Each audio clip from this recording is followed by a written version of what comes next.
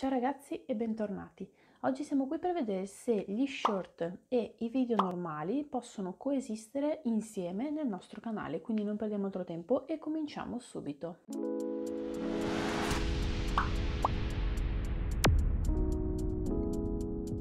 Tanto tempo fa, in un universo lontano, quando gli short erano appena stati implementati, YouTube utilizzava un unico algoritmo per entrambi. YouTube però, una volta che gli short sono stati implementati appunto nella piattaforma,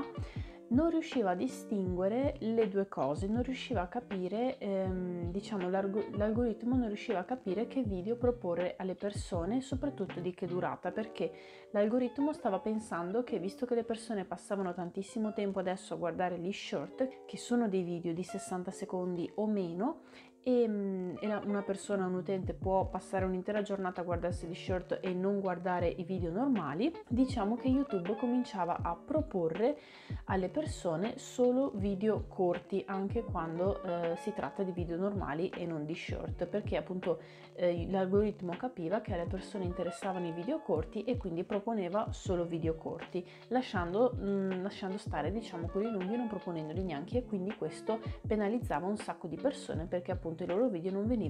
suggeriti nelle home delle persone. Per fortuna questa cosa è stata ehm, modificata e cambiata nel corso del tempo e quindi adesso gli short e i video normali di YouTube hanno due algoritmi diversi. Quindi oggi gli short e i video normali di YouTube possono convivere stessa, nello stesso canale senza darsi fastidio. Per funzionare però lo short deve avere un senso, deve essere fatto con una logica, deve avere un inizio, uno svolgimento e una conclusione come per i nostri video di YouTube normali, come i nostri video da 10 minuti. Molte volte le persone non capiscono come si utilizzano gli short e mm, lo usano diciamo come per esempio uno spezzone del video, fanno vedere uno spezzone del video sul, mm, sulla feed degli short pensando che poi le persone continuino la visione del video sul loro canale che però poi non è così semplice perché la persona quando sta guardando il feed degli short, cioè lo sta guardando perché vuole avere dei contenuti veloci e che cambino rapidamente.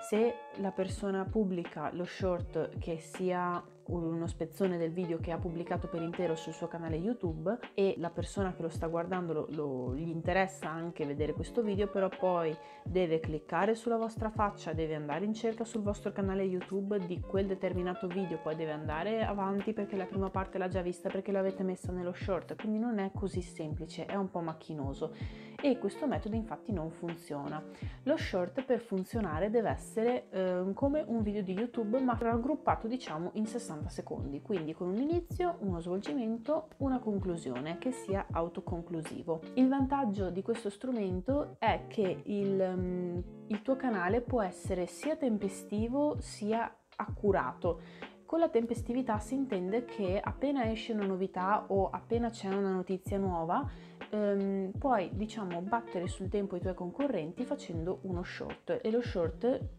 sì o no si fa nel giro di 2-3 minuti perché dura appunto 60 secondi, è molto corto, poi puoi pubblicarlo direttamente senza filtri, senza editing, senza niente, puoi battere diciamo la concorrenza in, in velocità. E poi puoi più avanti fare lo stesso video però spiegato meglio e quindi diciamo approfondito, accurato. In questo modo nel tuo canale si può avere sia la velocità, quindi con gli short, la tempestività degli short, ovvero che appena le notizie o comunque le novità vengono fuori, eh, vengono rilasciate con gli short e poi anche l'accuratezza con i dettagli che vengono spiegati nei video da 10 minuti. C'è però da considerare che mm, un canale solo di short non può sopravvivere, diciamo, cioè sì, non è che non può sopravvivere, non può monetizzare almeno fino ad oggi perché le ore di visualizzazione provenienti dagli short non vengono calcolate nelle ore di nelle famose 4000 ore per arrivare alla monetizzazione. Quindi se una persona vuole fare solo short sa che purtroppo ad oggi, a meno che non cambino le regole prossimamente, non può monetizzare con eh, quelle ore di visualizzazione, però deve basarsi appunto sulle ore di visualizzazione, sulle ore di visualizzazione dei, dei video normali di YouTube. E per questo motivo le due cose vanno proprio a braccetto insieme se utilizzate bene tutte e due. Se siete interessati alla questione degli short vi lascio alla fine di questo video un, un altro video che avevo già pubblicato nel canale che parla appunto di questo argomento e lo trovate subito appena finisco di parlare e se avete delle domande scrivetemele pure qua sotto nei commenti che sarò sempre felice se posso di rispondervi, di aiutarvi e noi ci vediamo al prossimo video. Ciao ragazzi!